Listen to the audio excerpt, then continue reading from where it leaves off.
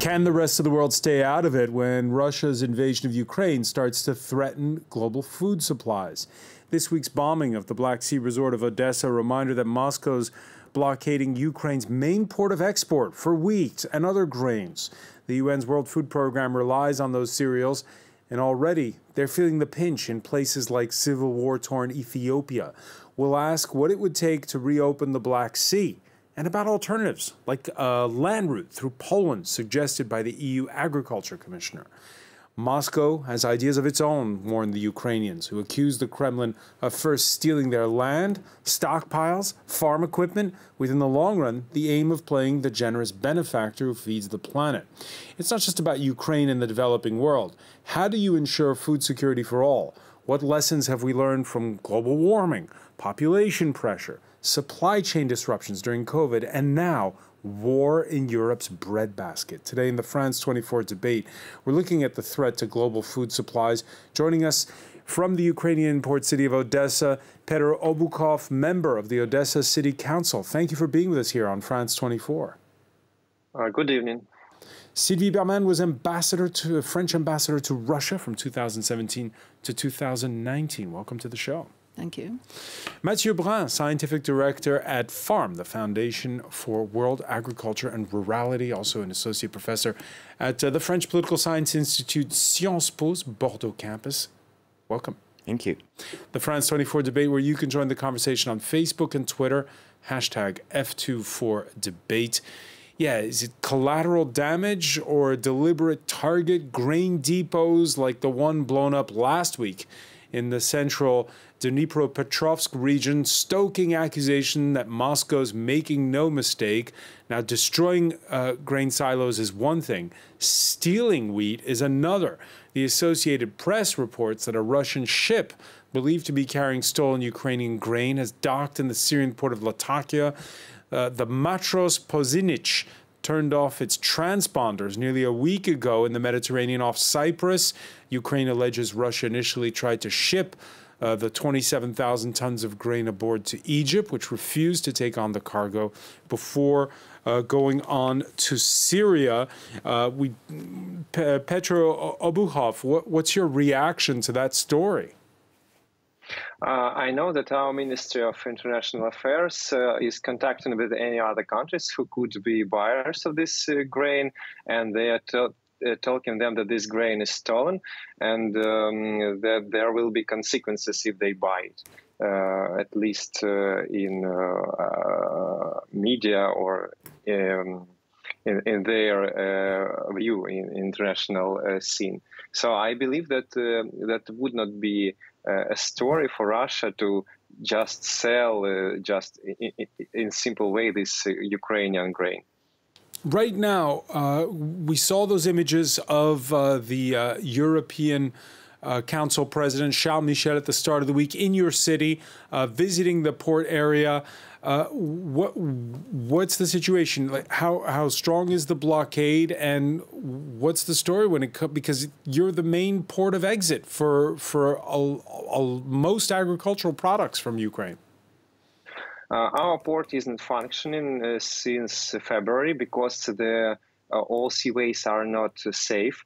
Uh, some commercial vessels were, were, hit by Russians. It was not Ukrainian vessels. It was one from Qatar, one from Japan, and uh, also uh, the sea uh, near Odessa is now now has a lot of sea mines, so it's not safe to to to to go to this area. And even if we stop the war today, uh, we need at least half of a year to clean the sea and to, to activate the sport again.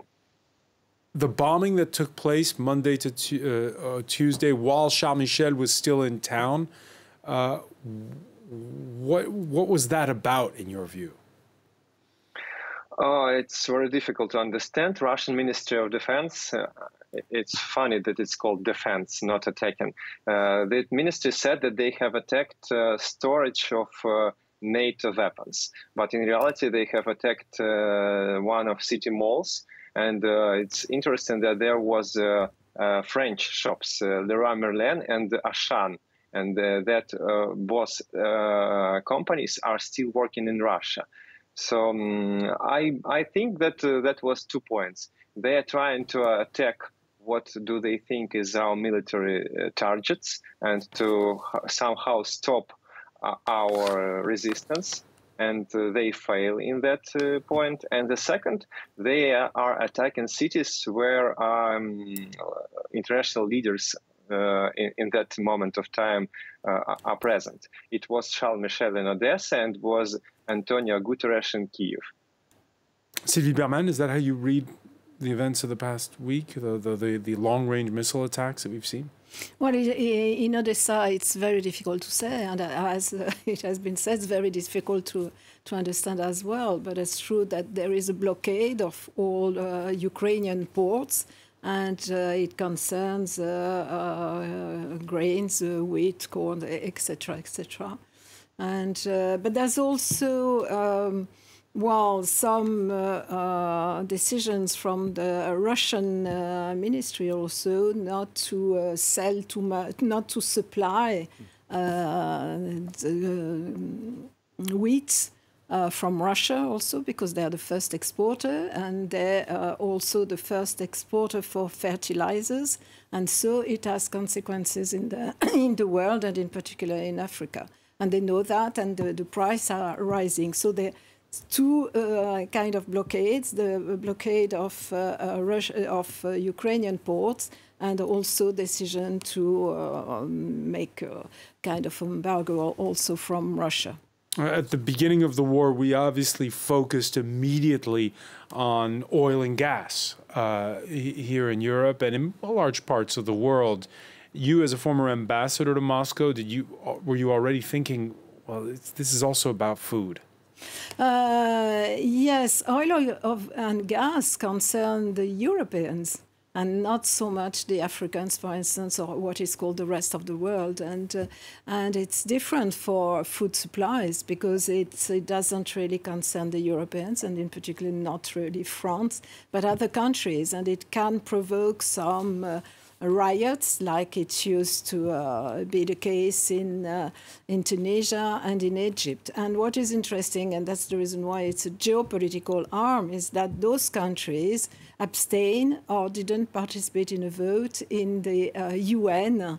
Uh, for that reason, because they're uh, receiving some uh, uh wheat supplies from uh, from Russia. So it's very geopolitical. And by the way, uh, Emmanuel Macron mentioned that uh, once when he talked to, uh, to Putin, the risk of uh, uh, world uh, hunger. And it's something he also brought up, and we'll talk about it perhaps a bit later on, with the Indian Prime Minister when he was in town uh, last week. Uh, we've talked about global supply chains when it comes to Russian oil and precious metals, when it comes to wheat, barley, corn, rapeseed, sunflower seeds. Uh, it's also the case enough, well, to trigger panic buying of sunflower oil in some parts. Uh, it's not just food, but also essentials for growing crops that have farmers in faraway Zimbabwe seeking alternatives. We are doing our own fertilizer now. We've, we are mixing seven bags of uh, cow dung or uh, the cattle manure or the chicken waste with one 20 mils of zinc to make compounds. But the difficult part of this is, is just compound. We need to do AN. It's very difficult to do AN, but we are producing AN at a very low uh, quantity and uh, ammonium nitrate, which is an essential ingredient when you're when you're making fertilizer. Mathieu Brun, we're we're all becoming experts in hydrocarbons, but also uh, we don't we realize how little we know about the food we eat and where it comes from, and a whole lot of it comes from Ukraine and Russia. Uh, exactly the Black Sea now, the Black Sea region, so Ukraine, Russia, but also Romania and the other countries around are producing a lot of the food we are eating all over the world and not just in Europe, but also in, in Africa, in, in Asia. Uh, and what, what's happening now in, uh, in Ukraine and Russia, and Russia shows actually how uh, food is a weapon, a geopolitical weapon, and how the system, the food systems, have been actually uh, are now very codependent. Uh, uh, almost a quarter of the, the, the grain are sold from Russia and Ukraine. 80% of sunflower oil is coming from Russia and Ukraine. So there is um, a huge issue of dependence, and it raises also uh, issues of food sovereignty. And can you just increase production elsewhere? And uh, yeah, there'll be a little hiccup for a few months, but then afterwards the world will adjust? It's not that easy because when you think about 100,000 um, uh, tons here, 100,000 tons here, uh, and, and, another 100,000 uh, anywhere else, it, it, it's, it's a lot. And, and we have been actually specializing our food systems, our agricultural systems for decades, almost centuries. Now it's, it's, it's, it's now that the, there are regions that are specializing on, on wheat, that are, uh, some others are specializing on soybean. So there is a, a lot of concentration. And you cannot just, over the year, change that. You need research, you need seeds, you need fertilizers, inputs, and also logistics. And when you see the, the, the closing of the ports, it's a lot about logistics uh, when it comes to food security.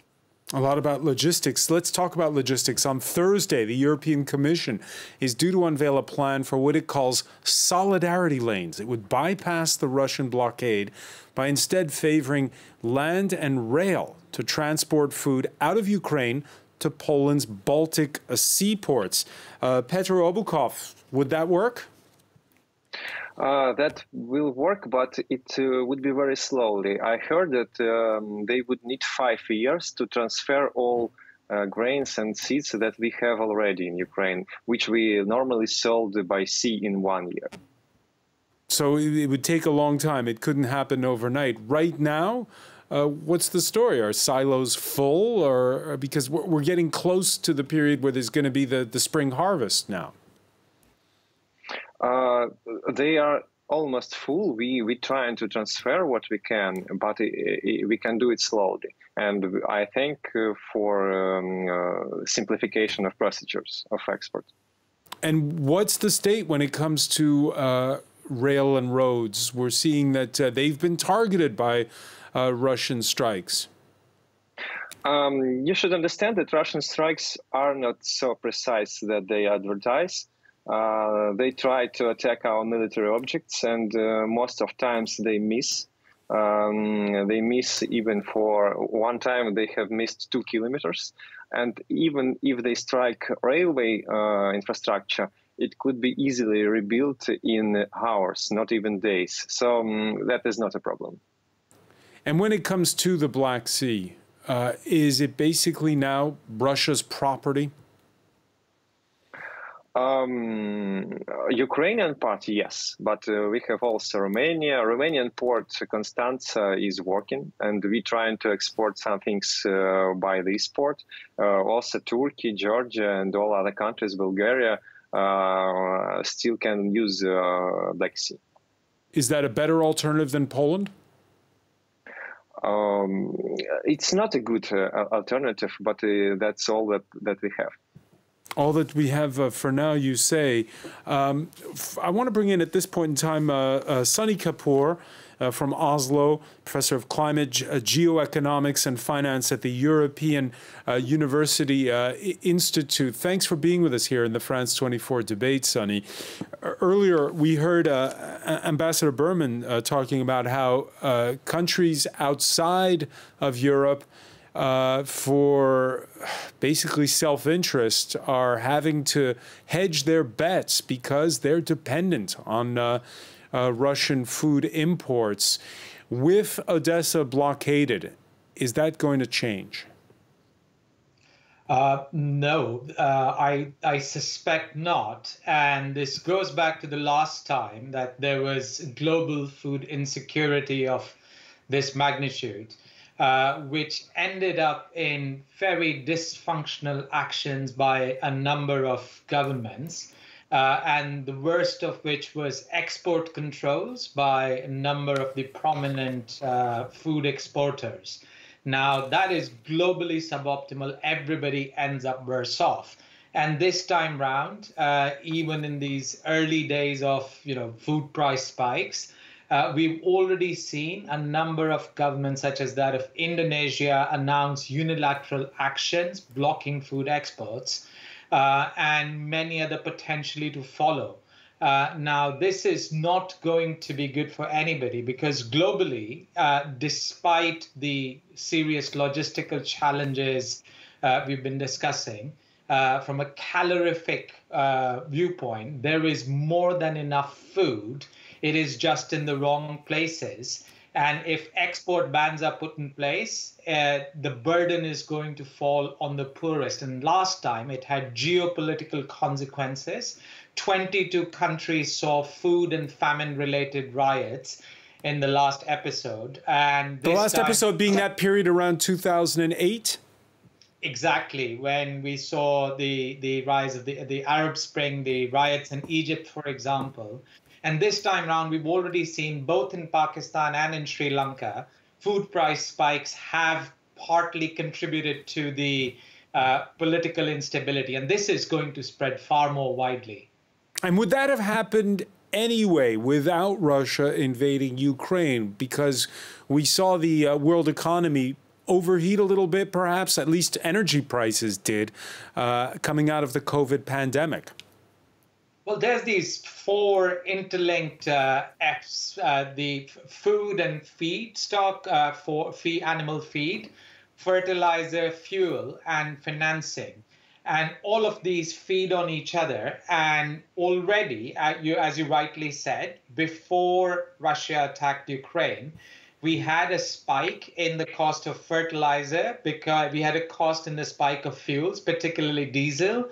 We had a spike in the cost of financing as financing from poor developing countries dried up. And of course, we had a direct spike in the cost of food as well as animal feedstock. But the Russian invasion has put everything on steroids, turbocharged. It's hard to say whether it's made the crisis twice as bad as it would have been or three times as bad but i think that is somewhere in the right magnitude. So it has really really made what was already a bad situation significantly worse. Put put a fire on on dry tinder so as to speak.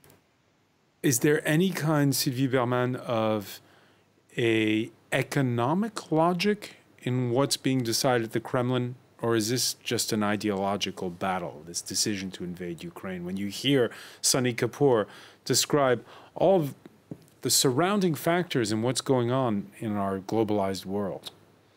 No, no, I don't think there was any economic reasons in the uh, invasion of. It's Ukraine. not always about the economy. No, no, no, absolutely not, and even on the contrary, because it's very detrimental to Russian economy. And uh, Putin knew that before, and he didn't care. Uh, on the contrary, he prepared his country uh, for more sanctions, and so, uh, and even so, if the cost of living of the population is decreasing, that's not his problem. It's purely ideological. But of course, economy is a weapon now, and so he can uh, use it uh, uh, that way. But I, I think, yes, the, the question was about Russia, but we have to discuss also what the EU can do because, uh, well, EU is also a producer and an exporter, and uh, uh, I think there's something uh, that can be, be done just to uh, help with this uh, very difficult and how do you situation. help how do you help by, by with the suggestion that we talked about where on thursday this proposal that's going to be unveiled to get the ukrainian food exports out or by uh, upping production in other EU nations for the rest of the world? Yeah, I, I, I think, yes, the, the, the, two options, of course. The first one, as it has been explained, is a question of quantity and of time. So it's very slow. Uh, so uh, probably, but uh, you are more specialist than, uh, than me. Uh, we could uh, have more production and more exports, but also uh, there was reform uh, uh, decided not only by the Commission, by the Member States, which is the system which is uh, called farm to fork. And the problem is that, on the contrary, this is less production. Uh, because it's part of the Green Deal. So maybe there could be a suspension of this uh, uh, policy. Ah, this is where it hurts, doesn't it, Mathieu Brun? Because on the one hand, there's how do you help Ukraine, and and then on the other hand, how do you save the planet? Or are the two? Yeah, you, in the you EU's have, case, is yeah, it a problem uh, com compromising the two, or you have somehow to jump in with with two legs: geopolitics and environment. And it's a very interesting point in the debates when it comes to how we should discuss or not the policies that were um, uh, discussed and, and, voted in the in, in, in the European Union. Um, but I, I, would like to stress on, on the fact that the main issue here is not uh, raising production in Europe but uh, taking some actions in terms of price volatility. Because the first and, and foremost, most important thing when it comes to food security is the price that the people are paying. There is enough food uh, produced uh, all over the world. The issue is, uh, like the, the colleague said, uh, when, where it is produced and how we can tra uh, transport the, the, transportation and logistics. But especially in the case of Africa, they are not that much relying on, on wheat exports from Russia and Ukraine. I'm not taking the case of Egypt, which is, or Morocco, or Tunisia, or Lebanon. They are really highly dependent on, on, on the wheat. But when it comes to sub-Saharan Africa, it's mainly to feed the cities. Uh, but the issue is that how the price of wheat uh, all over the planet is impacting the, the price that people are buying the foods uh, in, in Bamako or in Ethiopia or in Kenya or anywhere in, in, in, in southern uh, in sub-Saharan Africa. And that's the main issue, price volatility and the access of foods. I'm, I'm not sure the issue is to um, raise production in, in Europe. So to answer Sylvie's question, what can the EU do? Well, the EU do, and the, the, EU can do, and President Macron has already launched an initiative called the Food and Agricultural Resilience Mission. Uh, it, it is building on the few responses that were already on the table, like 10 years ago or, or in, 20, in 2008 and 2011. Um, and the issue is now to have a short-term answers, making sure that the food needed in Yemen, in Somalia, or in Ethiopia, or anywhere the food is needed that can access the, they can access to foods and making sure that there's not uh, a blockade all over the world. But there's also long-term uh, uh, issues, which is how we manage to uh, have our own foods uh, diets uh, being into tra transition and transition from from from the diet we have to a, a more sustainable diet. Eating less meat it, yeah, basically it less meat. Uh, but also in terms of long-term investment, and this is something we are developing at uh, the foundation where I, I, work for, is how we invest on agriculture. For the last 20 years, we haven't invested enough, especially in sub-Saharan Africa or in Asia. And now the issue is, is to see that the European Union is really financing agriculture. Uh, four times uh, more than what is. You, you know that what you're saying is in contradiction with what the EU Farm Commissioner tweeted earlier in the day saying that uh, EU policy is not about trying to reduce meat production? Uh, well, we have tackled the question, the issue. We, we can't just uh, continue eating uh, that much. I'm, I'm, i just I don't want to focus too much. Yeah, but we're getting into a side issue here. But, but, but it is important in the sense that we're talking about yeah how to do both, support Ukraine and half, and and half, not yeah. de get derailed from climate goals, uh, uh, as Ambassador Bermann was was mentioning. Um, uh, last week, by the way, when India's Prime Minister paid a call on French President Emmanuel Macron, much of the conversation focused on food security for the developing world. India exported, by the way, record amounts of wheat in the month of April, picking up some of the slack from the shortfall in Europe. Because of the war between Russia and Ukraine, many countries don't have wheat anymore, but India's going to export some to meet their needs. Look, we have so much. It's everywhere. So to make up the shortfall, Sunny Kapoor, uh, the developing world doesn't necessarily need Ukraine, Russia, Europe. So what does it need the EU for right now? Well, the biggest uh, thing the EU will need to do, can do, must do, is provide financing. As in the case of previous famines, the reason for the famine is often not the available, the lack of availability of calories and grains. It is the lack of affordability. And particularly at a time that developing countries were suffering already from excessive debt burdens, about 50 are in debt distress uh, COVID related economic hangover, and the withdrawal of uh, large amounts of liquidity from the global financial system as the Fed starts to tighten, financing conditions have not been worse in living memory. And the prices of essential commodities, not just food, but fuel, energy, is it has not been uh, more dramatically difficult. So the biggest, most important thing the EU and the rich world needs to do is to step forward with a very generous financing package that funds the World Food Program, that funds UN agencies, that funds countries and governments and the poorest, even within these countries themselves, to be able to purchase food rather than trying to intervene marginally at you know marginally increasing production in the EU uh, by a bit here and a bit there. And the second important thing that we all can do is to do what we need to do in parallel on the energy front, which is to make a public call to citizens across the world, especially in the EU and in the US, to stop food waste, to be more mindful because there's an ongoing global shortage. In the same way, we've been asking everybody to lower down thermostats and temperatures, and that can have a dramatically uh, Im- uh, large impact on the reduction of food waste and increase the amount of food available for consumption in the developing world. Those are the two near term policies that can have an immediate impact in helping the developing world uh, navigate this food crisis. And what about uh, when Peter Obukhov mentions uh, the uh, those grain silos that are could fill up fast and overflow? What? How do you help Ukraine, Sonny Kapoor? Well, uh, he on the ground knows far more than I do. The numbers I have heard are similar.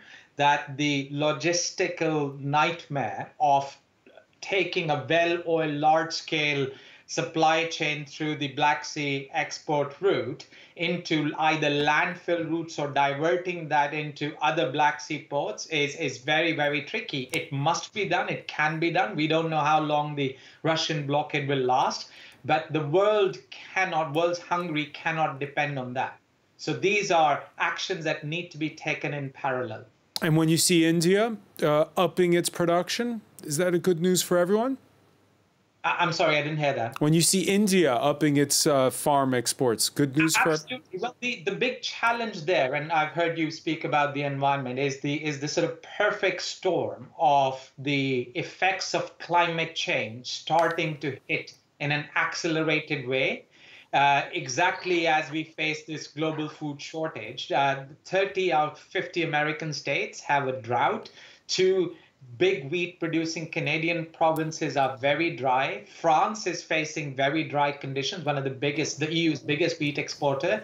India has seen a heat wave. So far, so good, but who knows how production might go. So it's quite likely we need to build in an additional safety margin that a reasonable amount of cereal uh, grain production might be hit by large scale negative climate impacts this year. Uh, so yes, uh, India needs to. India must open its uh, its silos, and if it has excess wheat, uh, you know, definitely export it into the global markets. As does China. China's food uh, stockpiles are a national secret, but there's an assumption it has substantial amounts.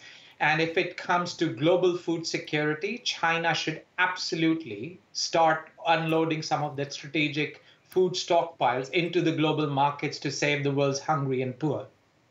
Peter Obukhov, uh, the considerations of uh, uh, what China, what India does, uh, does it seem obviously it must seem far away from from from where you are right now when you have air raid sirens uh, going off. What do Ukrainians want at this point in time on this front? I believe that uh, all that crisis could be stopped by stopping the war and we can stop the war only by two means. First of all, we need as much weapons as possible. Uh, that should be contemporary weapons to distant attacking Russian uh, troops on Ukrainian soil. It could not be um, fixed by diplomacy. We understand it. We can only win uh, on the land uh, fighting with Russia. So investing in weapons to Ukraine, you are investing to your uh, uh solution of food crisis. And the second is sanctions. Uh, there are still no uh, oil embargo on Russia. You are still paying money to Russia even now. Uh, I understand that it is difficult uh, to do uh, technically. You, you should find some another um, sources of oil and gas, but uh, when you stop uh, money supply of Russia and when you uh, start and expand supply of weapons to Ukraine, that would would bring the solution for us. Sylvie Bermann, when you, you saw the European Commission president earlier this week go cap in hand to Hungary to try to convince Viktor Orban, uh, offer some incentives, some sweeteners uh, for an EU wide embargo on uh, Russian oil.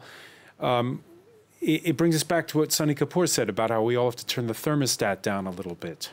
Yeah, but I think uh, well, Hungary, of course, has a very uh, special uh, position. No, it's not only economic, but uh, we can understand that uh, it would raise some economic uh, difficulties.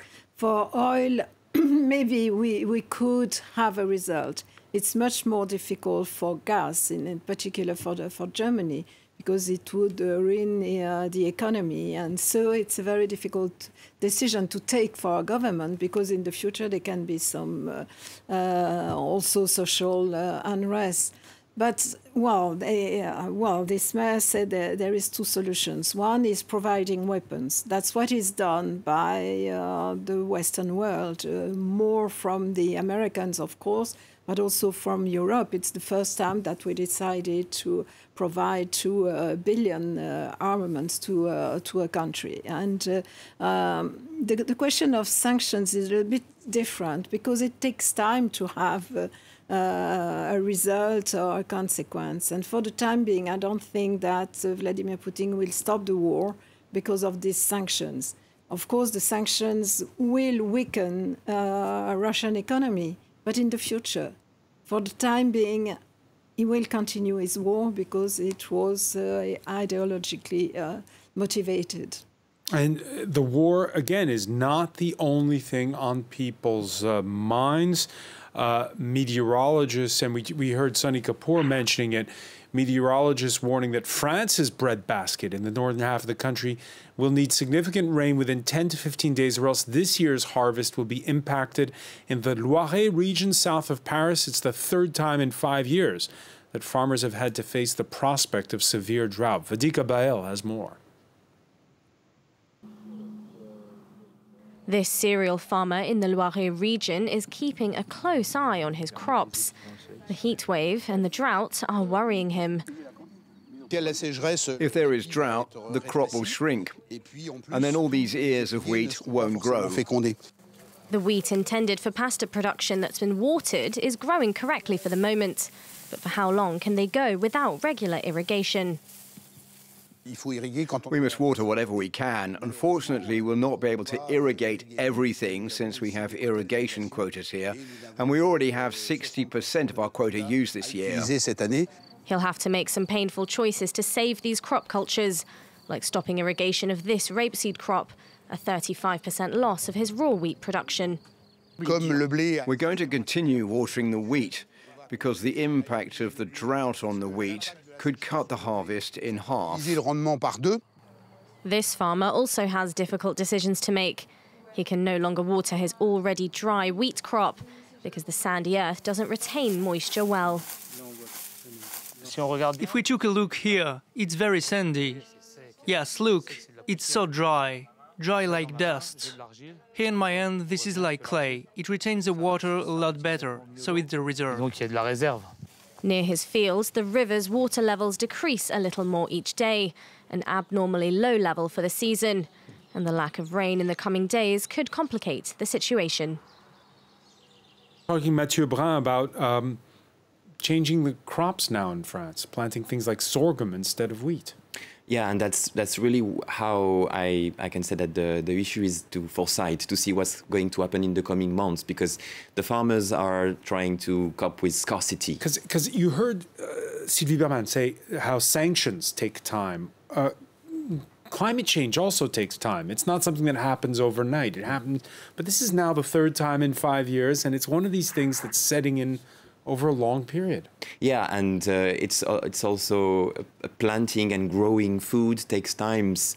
Uh, it takes energy, uh, water, and we need actually to to make sure that we support the farmers to cope with um, climate change, uh, the adaptation, but also increase or decrease the, the, the emissions, the the, the um, uh, because if, if we cannot cope with that issue, there, there will be uh, problems. And it's not just France. We can see a drought in Morocco or in, in India or in Pakistan. And I'm really worried about South how, America. and South America, and I'm worried about how the, the campaign next year or in, in the fall of, of 2022, uh, because if there is not enough food, then there will be some uh, very uh, crucial political issues. Mathieu Brun, I know you have to leave us early, but I want to thank you for joining us thank here in, in, the France 24 debate. Sunny Kapoor, um, uh, when the history books uh, are written about why Russia invaded Ukraine, because we're still asking the question, um, uh, will it be, like you were mentioning, 2008 being a trigger for the Arab Spring? Uh, will it be because of COVID? Will it be because of climate change? Or will it just be solely and purely uh, about uh, the dynamic of post Soviet politics? Uh, I think it, it would go down to two factors. One is the idiosyncrasy and uh, at this point it's only appropriate to say madness of Vladimir Putin, single man launching his country into an unprecedented war, guaranteeing poverty and economic destruction. But what, in addition to the uh, complication of post Soviet politics, which has never really settled down, uh, the other way of also looking at this, this is the last hurrah of a fading commodity oil superpower uh, that knows that the future is bleak. Uh, Russia's demographic decline is steep. It has failed to properly industrialize its economy. It's it's effectively a commodity economy stuck in what looks like the first world, but has very little sophisticated industry. And so this is the last hurrah for a power that sees that the year 2030, 2040 will mean it will be far more diminished. And this is the last time it can capitalize on it being one of the major exporters of fossil fuels, which still matter in the world. By the year 2030, 2040, 2050, it will be irrelevant, uh, many of these commodity exports, and it will not be a superpower of any kind whatsoever till and until there's a post-Putin, post-Putin golden age and Russia ends uh, ends up with you know civilized societies like the rest of us. Sylvie Bermann, when you were imposed from 2017 2000, did you sense Russia was in decline? Uh, well, uh, not really. I think it's very difficult to say because at the same time they had a lot of reserves in the central bank, and uh, they had this uh, well, oil and gas industry and also agro-food industry because of our sanctions, of course. And uh, the 2014 sanctions. Absol absolutely. But they haven't made the necessary reforms. And uh, so uh, it, it, was still a, a weak economy. Uh, at the same time, there was also uh, there, there's the question of demography, of course, because they are losing people. And there is brain drain because a lot of young and talented people left the country. And it is even worse now because all those who are opposing the, the war are leaving the country and they are the, the best and the, and the brightest. So this is a problem. And of course, uh, the uh, well, the question of sanctions will accelerate uh, the uh, uh, the change of uh, economy, the use of fossil industry, and so it will have a consequence on Russia, of course, and sooner than expected because they knew that they were working also on hydrogen and the new. Uh, and uh, renewable, but uh, they still counted on those uh, oil and gas uh, resources, and now they, they will have to, well, accelerate the transition. Except that China, of course, will buy more oil and gas from from Russia, but well, nevertheless, it, uh, they will have to uh, find some uh, something else. And for the time being, it's difficult because it needs some restructuring, some um, some reforms, and you can't do that when uh, you're at war. Uh, Petr Obukhov, uh, yeah, uh, uh, Russia's population is declining. Yeah, they didn't make uh, perhaps the necessary reforms to cope with an accelerating globalization. nonetheless, even if they miss the target on those bombing raids, is time on Russia's side in this conflict? No, I don't think so. Uh, I think the time is on our side because Russia representing uh, maybe 2.5, 2.7 percent of world GDP, and uh, Ukraine, with help of Western countries, are representing maybe 50 percent of world GDP. Yeah, I don't believe that uh, they could they could uh, take uh, take on us. It's impossible. We have contemporary weapons already. We have um, the best weapons in the world now, and oh. uh, we will have more. And we have uh, 5,000 hundreds of motivated troops in Ukraine, and we have unmotivated troops in Russia. Army. They don't understand for what they are fighting now because the goals of this um, war is not clear. It, it could not be um, it couldn't be uh, rated. So um, they they will defeat and they will defeat uh, sooner than they think. And uh, I've heard that Russian economy began to struggle since 2011. Uh, if we subtract the commodity part of this economy, it's declining. And uh, there are no reforms, they are just depending on this. That's absolutely crazy for them to start this war being so dependent from, from the Western world. And in that period from 2014 to today, uh, when those first sanctions hit, how has Odessa changed? Um, uh, you see, before the uh, occupation of the Crimea, uh, there was two uh, points in, in Ukraine where people from Ukraine and from Russia and from Belarus came to Ukraine uh, on summer season to the sea. It was Crimea and Odessa. But after um, the occupation of Crimea, uh, most of Ukrainians uh, came to Odessa uh, in summers. So Odessa um, became the the one, uh, the only one uh, uh, resort in Ukraine. Um, Odessa had developed through these years. We have made a lot of reforms in Ukraine, and um, we have moved to the future. We have electronic system of government um, supplies where everybody could see the standards auctions. Uh, we have um, any of our um, uh, member of parliament of municipal government any people any man who are working for government should place his declaration financial declaration publicly so i could see any person who is working for government what do he have and if he has if he drives for example car which he cannot afford through his declaration, he will be punished. And uh, all of them know this. We have um, uh, free media, we have free elections. So we are, uh, Putin is right that we are anti-Russia. We, we are antipod country. We are country built on freedom, on European values. And his country is not. And he will fail. Uh, and this will also lead to economic losses, even without war, uh, being not free, making you um, poor.